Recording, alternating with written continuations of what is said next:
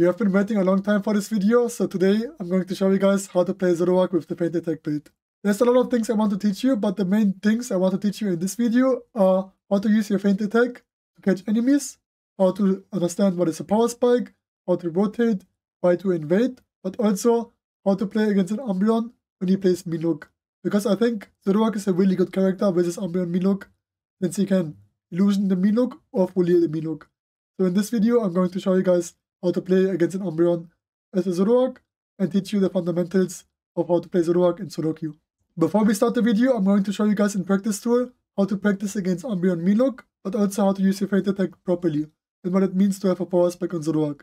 In these clips, you can see how I illusion the Umbreon's Mean Look or fully the Mean Look, doing a combo or not doing a combo. What I always try to do when I play against an Umbreon is I'm trying to bait his Mean Look by either face checking him, trying to force them to use his Mean Look on me, but I always want to try to use the illusion before I use the Fully. Because sometimes you need Fully for Gravity Clefable, etc. When you start playing Zoroark and you want to learn how to play Zoroark, you should always go to practice tour. And especially when you go to uh, play against an Umbreon Mean Look and you want to know how to counter it, you always want to try to select Zoroark, then on the enemy side you want to select the Umbreon, and then you just start the game, right?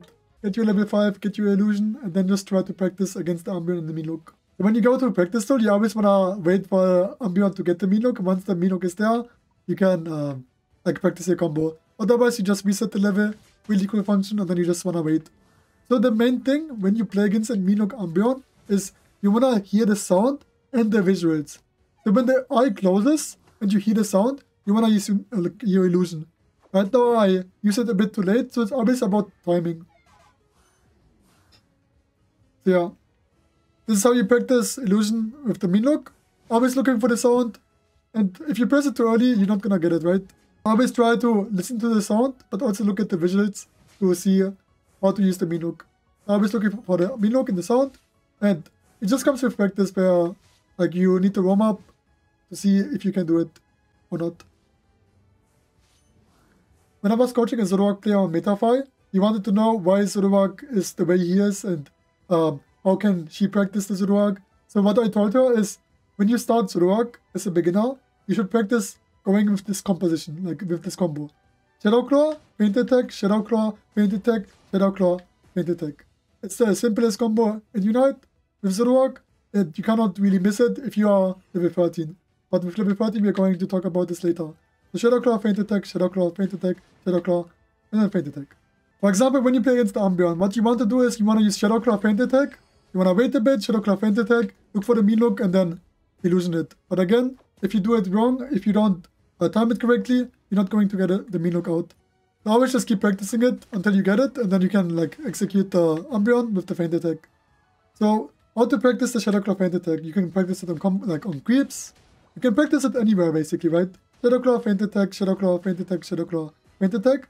And what you need to keep in mind is, when you use the Shadow Claw, you want to reposition yourself. So, Shadow Claw, Feint Attack, Shadow Claw, Feint Attack, Shadow Claw, Feint Attack.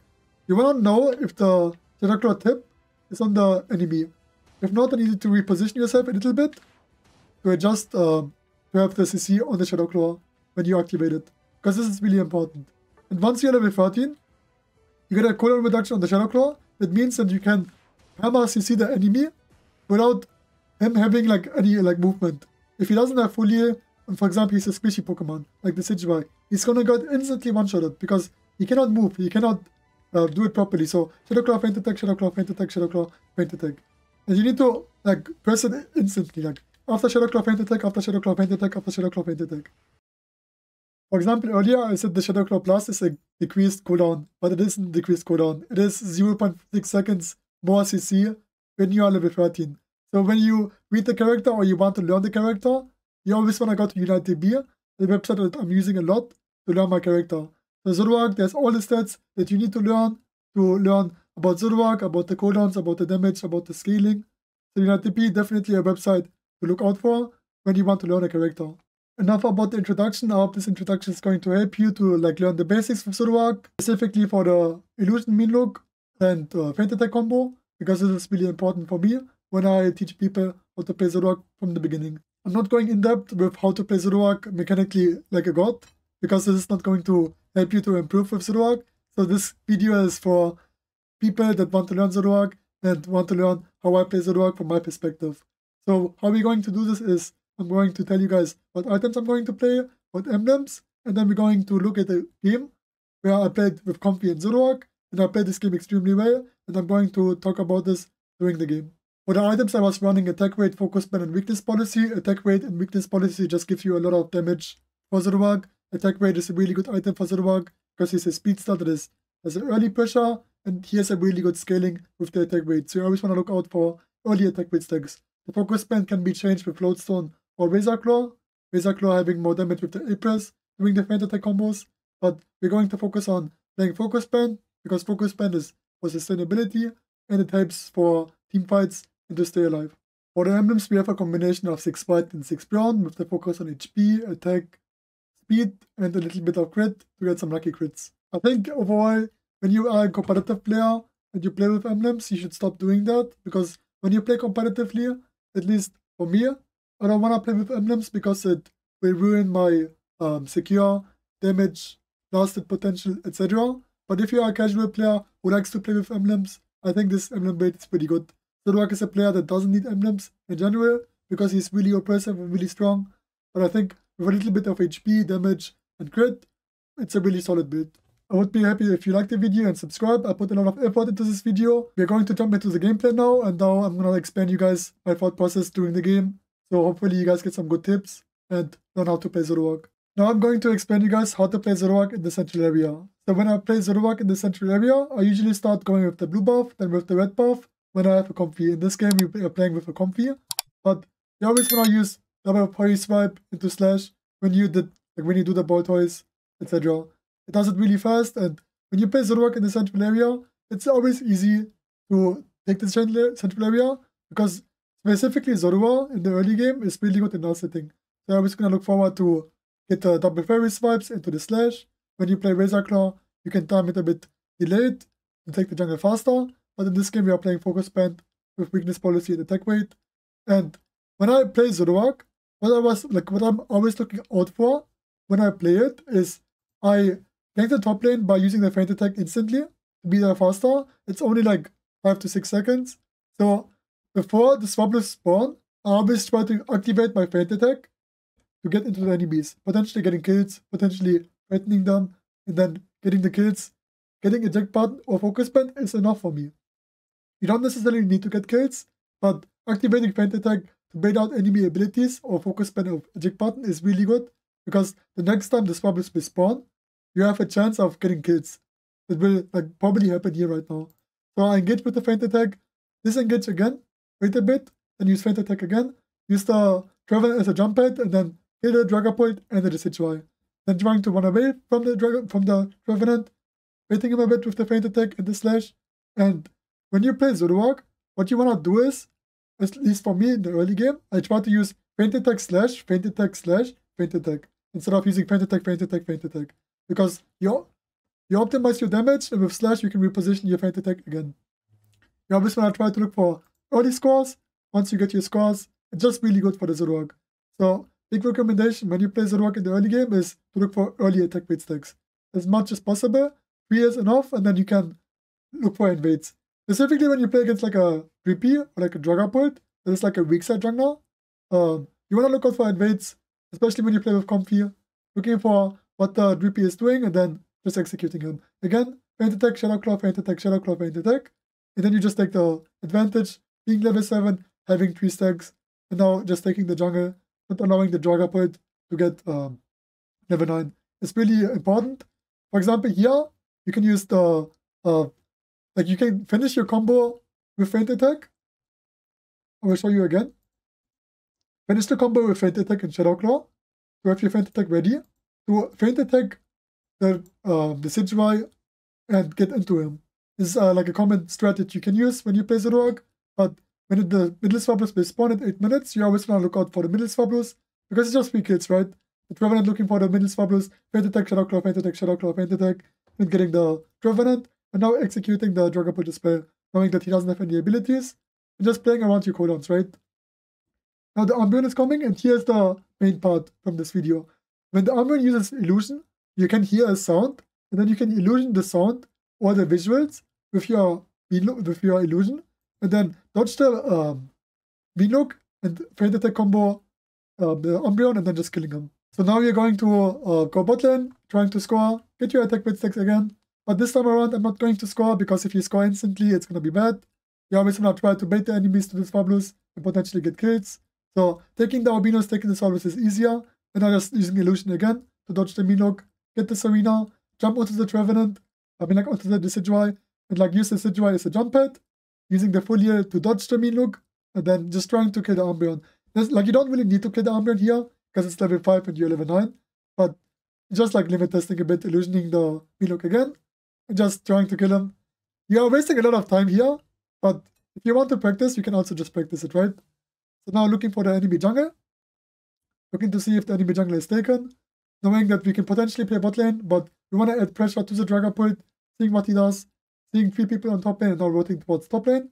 You always want to try to rotate towards the map from the enemy jungle, especially when you play with Comfey, you can play more aggressive than usual. And then when the Umbreon is there, you can face check him and then illusion the Mean Look, always comes down with practice, and then executing the Umbreon. Again, I'm looking for uh, Feint Attack Shadow Claw, Feint Attack Shadow Claw combos. And after I finish my Feint Attack Shadow Claw combo, you can activate your ultimate because the last Feint Attack will reposition yourself into the enemies. So you can get a big ultimate uh, usage out of it. So now going into the Decidueye with the Empowered Feint Attack and just jumping on them. Always trying to like take the bolters from the jungle. And when you have Comfey, again, you can just try to score. Looking for a killer bit. This is like limit testing you can limit test with, feint, with Zoroark, but you don't need to limit test. So you can like use your feint attack back, feint attack, feint attack. It's like a juke, and then you can potentially kill someone and then run away. Always limit test, illusion the spirit checker, and then just going out to the Decidueye, killing him, and the Dragapult, and just limit testing. You can limit test, but I would recommend you to not limit test as much. Only if you play with a Comfey, you can try that, but you give a lot of XP when you do it. So I was using the Shadow Claw, Feint Attack, Shadow Claw, Feint Attack, Shadow Claw, again Feint Attack. This is how I play Zoroark. You always want to try to look out for an invade, looking to see if you can invade the enemy. If you can't invade the enemy, look for early stacks. Having like 4 stacks now, the 5th stack is really important to have attack weight stacks with Zoroark. Looking for the blue buff again, using the blue buff as a jump pad. Sadly, like for example, Gudra took the um, blue buff, but you take the Bolter now. Using it as a jump pad, delaying your um, Shadow Claw to get the feint attack reset. Then you just look out for the enemies again looking to the enemy jungle again, just scouting the enemy jungle, seeing if there's potential farm.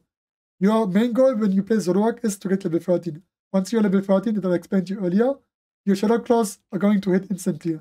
So I think in this moment, I was looking a bit too aggressive, trying to like juke everything with the illusion. But you need to keep in mind, Sabrina's ultimate like has a lock on target, right?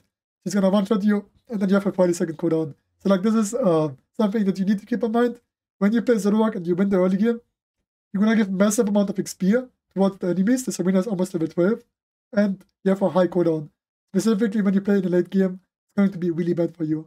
So always keep that in mind when you play Zoroark, especially when you play with a Comfey. Because when you play with a Comfey, it just means two people will die, and then you can potentially lose the game, right?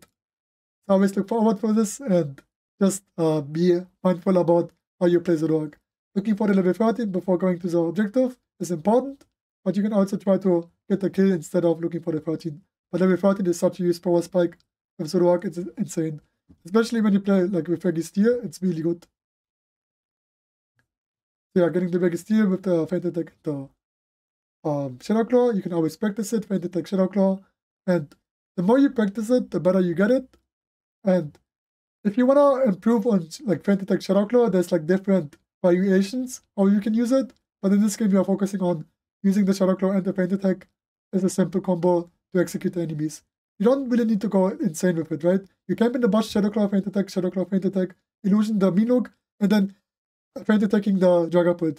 Is it insane like how fun it is to play Zoroark against an Umbreon if you practice the illusion and just beating the illusion out and then executing the enemies? Because the enemies feel safe when they play with the Umbreon, but always practicing the illusion, illusioning three times in a row, I mean, like two times in a row, the Mean Look is just really fun. But you always want to look out for uh, using the illusion before using Full Heal. Because if you have Full Heal, for example, you can Foliar the Serena ultimate, right? So again, Serena is there. Shadow Claw, Feint Attack, Shadow Claw, Feint Attack, Shadow Claw, another Feint Attack. And then you just look for the enemy jungle again, see if the enemy jungle took his jungle or not.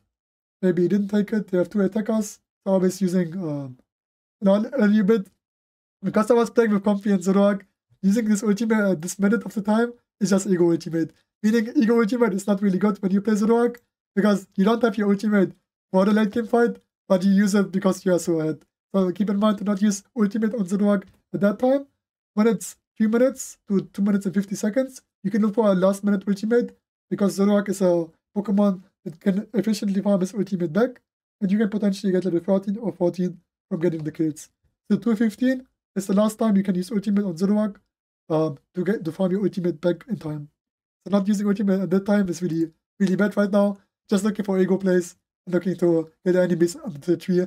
It's not necessary. Again, I had a 30 second cooldown when I died, so you need to keep in mind to play it a bit slow. Looking for the level 50 now. Basically, when you're level 50 with Zoroark, the game is just over and solo because it's just really strong. But I always want to try to do is when I try to score um, with Zoroark with Comfey because it's just really efficient when um, Comfey is on you because the score animation is really fast. But obviously, when the Rayquaza spawns, always being in position for the Rayquaza is important.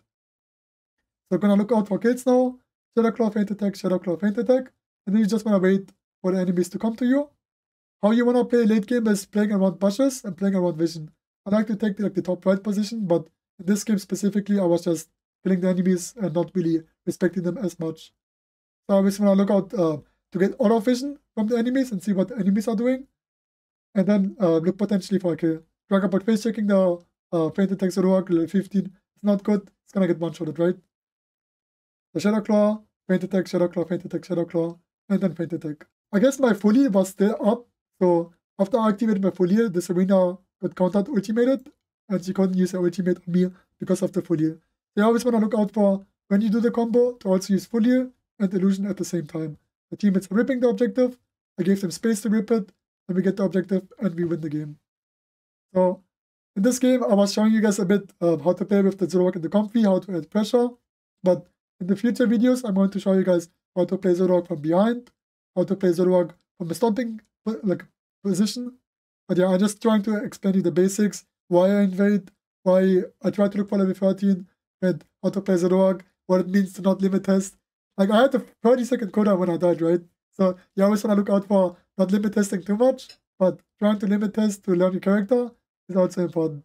So keep in mind the timers. Last time ultimate is 250, and when you use Feint Attack, Shadow Claw, you wanna jump into the enemy by using the blue buff, the defender, the attackers as a jump pad to kill the enemies.